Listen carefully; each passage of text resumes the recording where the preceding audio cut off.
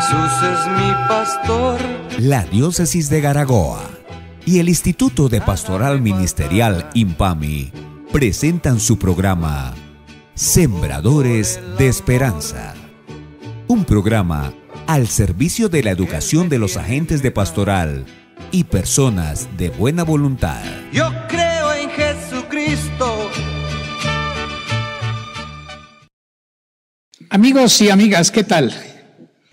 El Señor derrame bendiciones sobre cada una de nuestras queridas comunidades, sobre los queridos estudiantes del Instituto de Pastoral Ministerial, sobre mis hermanos sacerdotes en las diferentes parroquias que con tanto amor le dedican este tiempo para formar a las comunidades, a sus eh, estudiantes, a sus agentes de pastoral.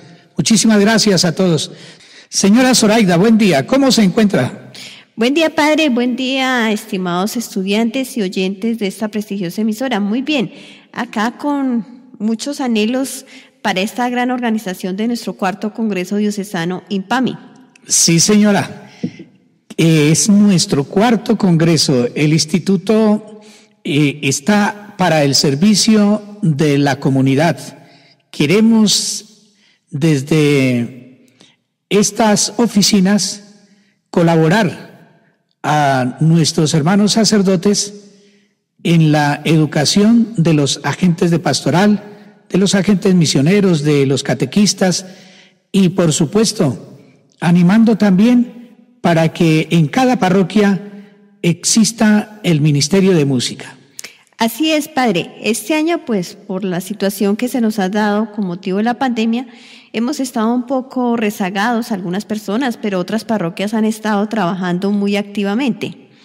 Sí, el, Internet no, no es bueno en todos los rincones de nuestra diócesis, pero se han hecho esfuerzos y realmente es loable lo que nuestros párrocos han hecho para llegar a los diferentes rincones de cada una de sus parroquias, a los niños, a los jóvenes, en fin, eh, se nota el esfuerzo, el amor y el deseo de cumplir con el mandato de Jesús. Vayan a todos los rincones de la tierra y den a conocer el Evangelio.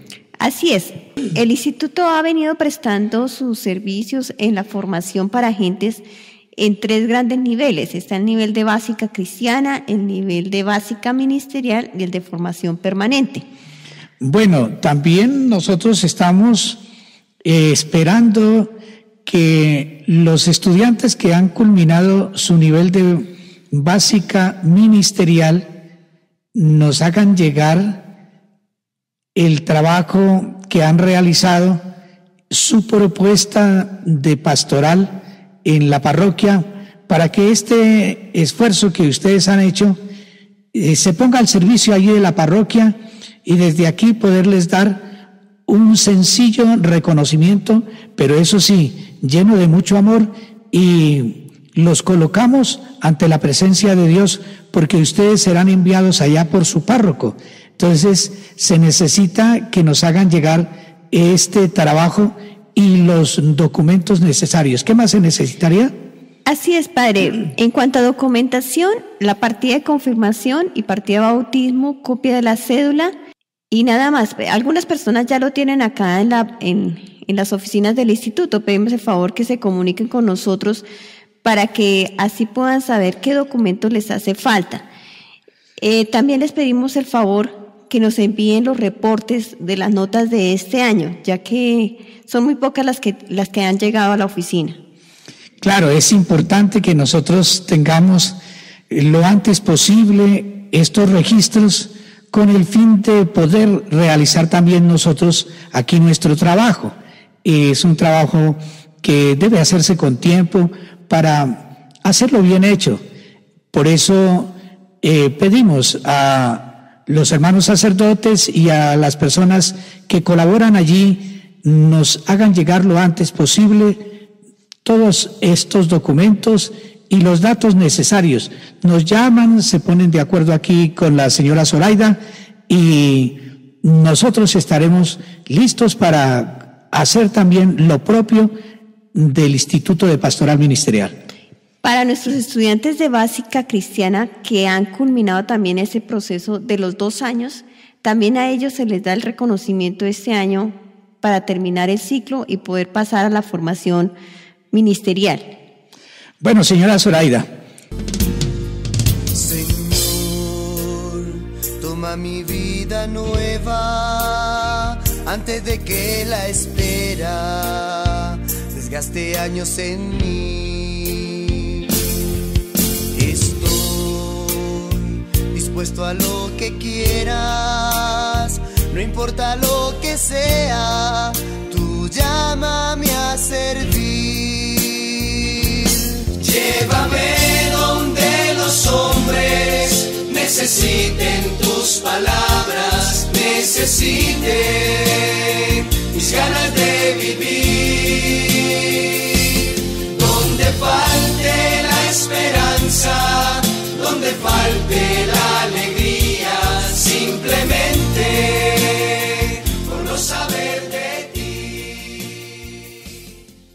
Decía la señora Zoraida que en este primer nivel de básica cristiana se necesita que ojalá nos hagan llegar lo propio de sus documentos para darles el reconocimiento. También hay algunos que se han quedado rezagados por diferentes motivos. El instituto quiere acompañarlos con la ayuda, por supuesto, de sus párrocos y de las personas que colaboran allí con los párrocos. Precisamente ustedes, queridos estudiantes, son los que deben estar ahí para que el estudio que ustedes hacen sea efectivo en la respuesta pastoral y entonces se pongan a la disposición de los, de los párrocos. Son muchas eh, las personas, señora Zoraida, que tiene en mente que tal vez estén rezagadas en este primer nivel. Algunas parroquias se comunicaron sobre todo en el segundo semestre, porque el primero pues fue como el colapso por lo de la pandemia. Recuerdo, por ejemplo, Ramiriquí ha estado trabajando, vamos despacio, pero con paso firme, entonces quedamos que antes de iniciar el nuevo ciclo, le daremos culminación a este ciclo.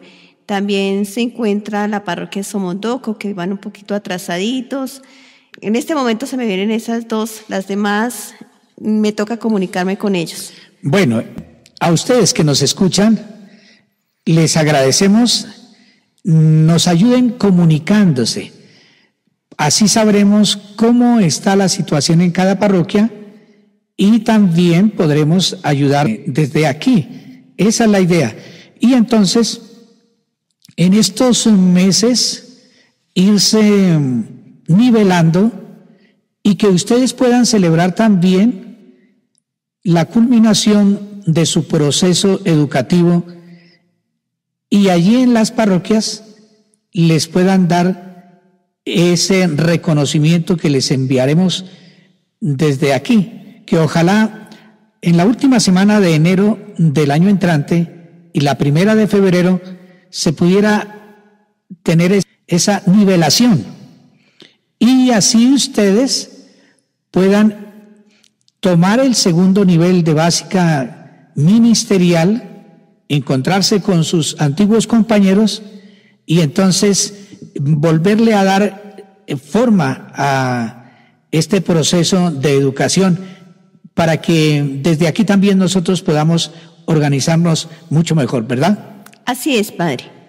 Queridos eh, amigos de formación permanente, nuestro obispo quiere darnos hoy la conclusión de este hermoso documento de su santidad Francisco, nuestro Papa Francisco.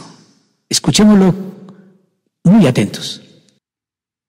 Virgen María, ruega por nosotros para que sigamos siendo fieles en esta tarea que se nos ha encomendado y que lo hagamos con inmensa alegría.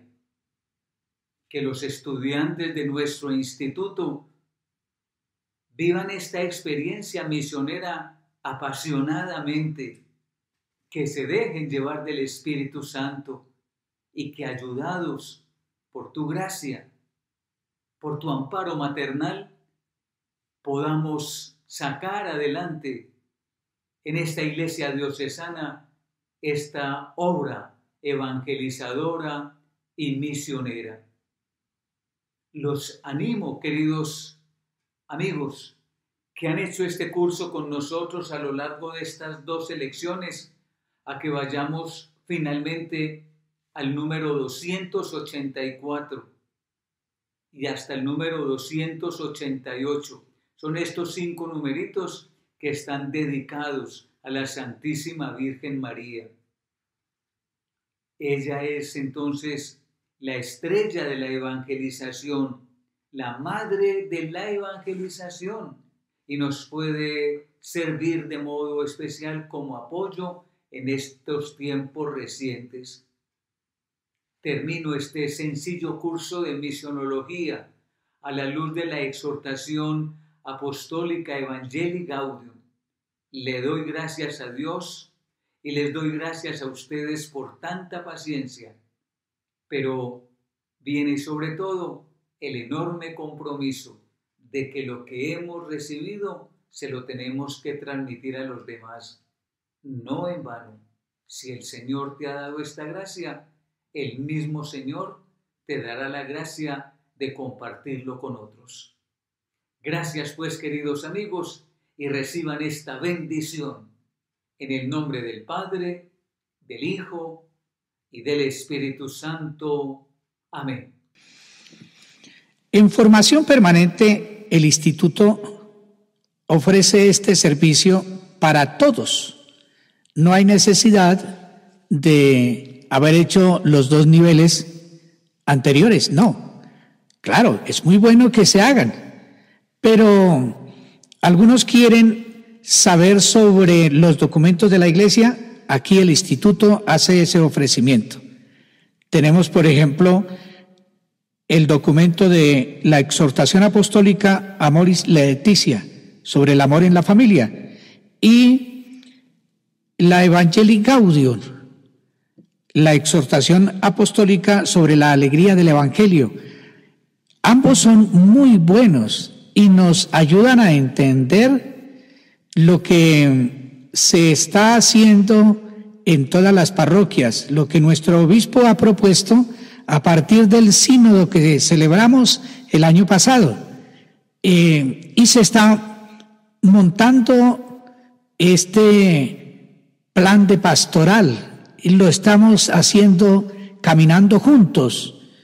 Este curso de la Evangelii Gaudium, esta exhortación, es supremamente importante para adentrarnos en nuestro plan de pastoral. El año entrante estudiaremos otro documento que también nos va a fortalecer este trabajo pastoral que nos ha propuesto nuestro obispo Julio Hernando, el vicario de pastoral, el padre Luis Alberto, y cada uno de los sacerdotes, párrocos y allí donde hay cooperadores. De tal forma, queridos amigos y amigas, que están invitados a tomar este curso el año entrante. Ustedes pueden seguirlo tomando cuando lo necesiten.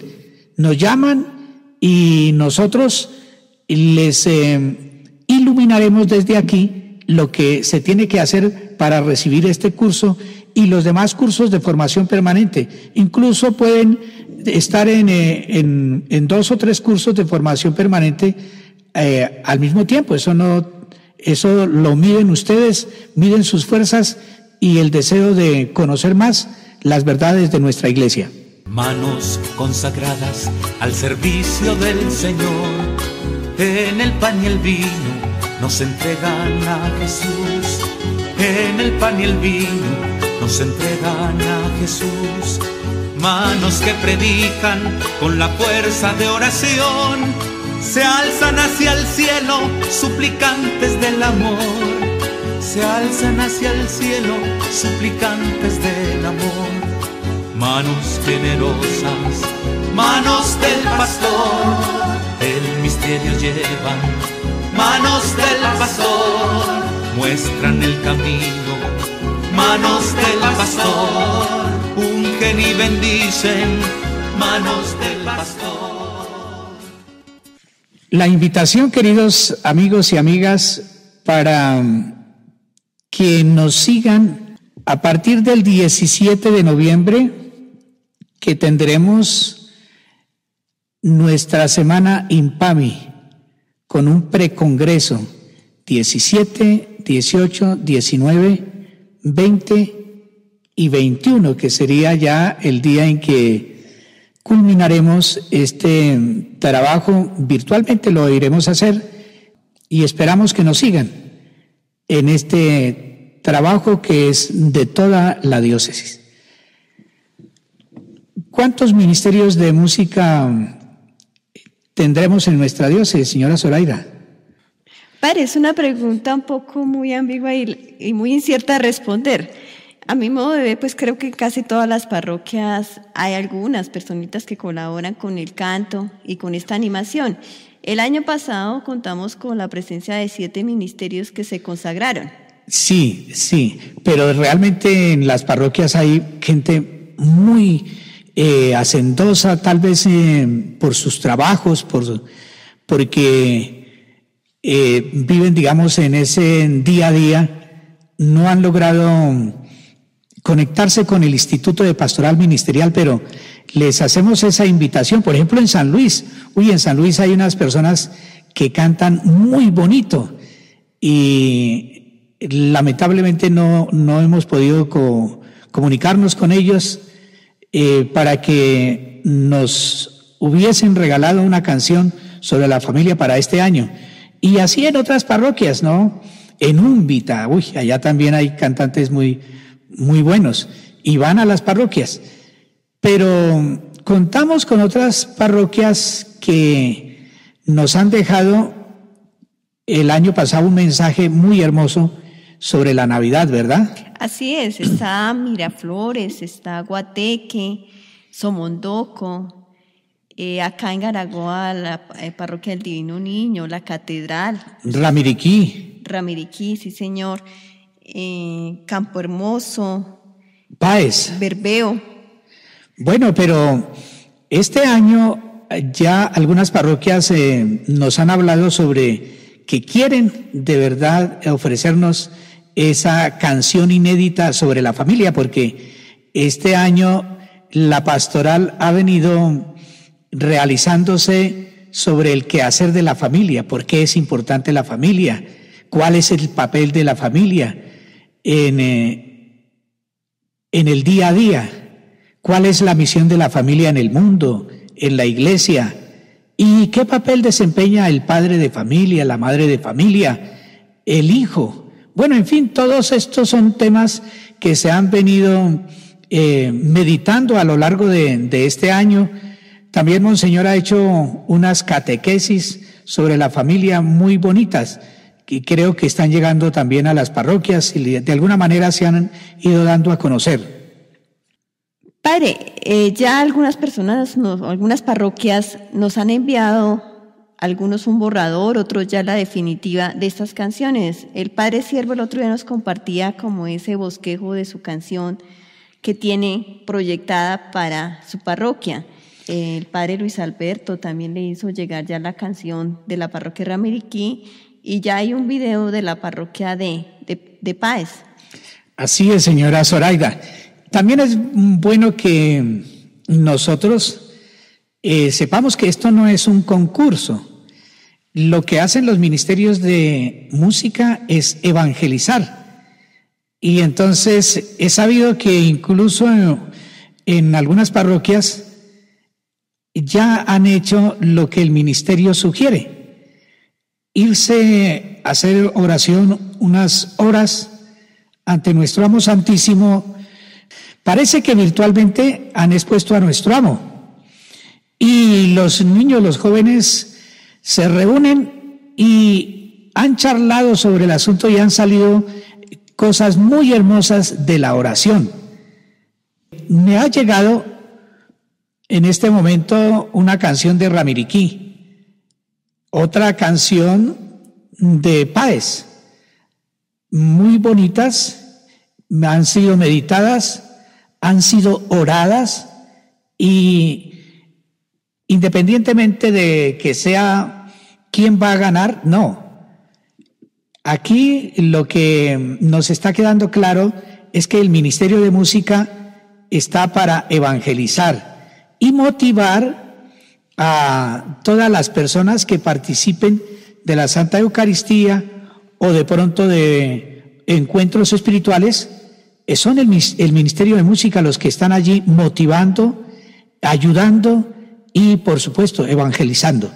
Padre, bueno, ya hablamos de varios ministerios. Algunos ya nos han concretado que sí, que están trabajando, que, se, que van como bien en forma con su canción. ¿Qué datos necesitamos acá para nuestra edición y nuestro envío propiamente a nuestras redes? Bueno, es importante que nos hagan llegar la letra también de la canción. Ojalá con las notas para que quede un documento aquí y podamos nosotros también enviarle a cada Ministerio de Música un, folleto, ¿no?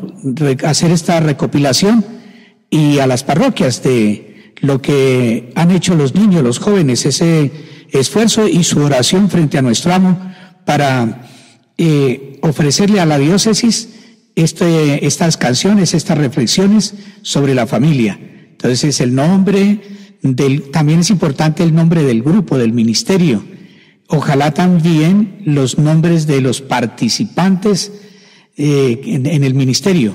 Todos estos datos eh, nos los hacen llegar. De verdad que se pueden comunicar con nosotros, que nosotros estamos para servirles. En el momento que ustedes nos eh, soliciten, allí estaremos.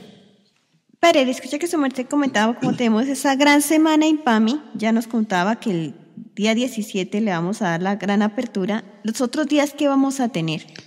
Bueno, el 17 será la apertura con el saludo pues de nuestro señor obispo, Monseñor Julio Hernando García Peláez. Y el ministerio de Guateque nos acompañará con oración Igualmente, habrá la presentación de algunos de los ministerios de música. El 18, nuestro eh, vicario general, padre Ricardo Alonso Lache, se dirigirá a nosotros eh, brevemente también en un saludo. Habrá una primera charla muy cortica, reflexión. Igualmente el 19 nuestro vicario de pastoral, Padre Luis Alberto, eh, se dirigirá también a la comunidad. Tendremos también una charla. El 20 tendremos otra charla y la presentación de, de los ministerios de música a lo largo de estos días. Y el 21 será el, el día grande.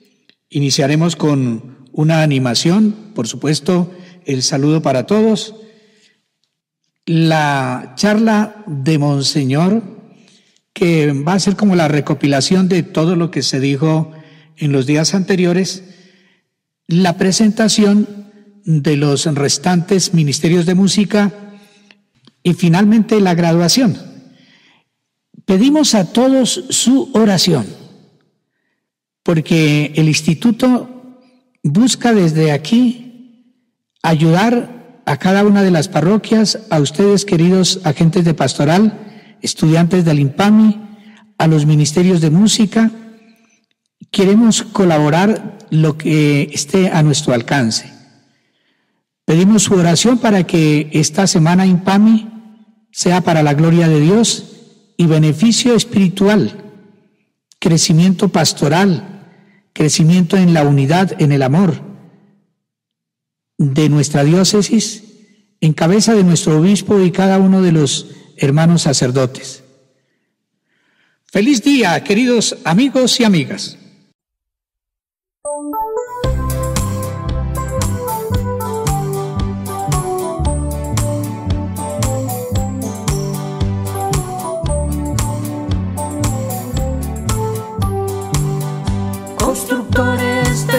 sociedad, humildes heraldos del Señor, Espiritualidad y comunión promovemos para el reino de Dios. Espiritualidad y comunión promovemos para el reino de Dios. Jesús es mi pastor. La diócesis de Garagoa y el Instituto de Pastoral Ministerial IMPAMI presentaron su programa Sembradores de Esperanza. Un programa al servicio de la educación de los agentes de pastoral y personas de buena voluntad. ¡Aleluya!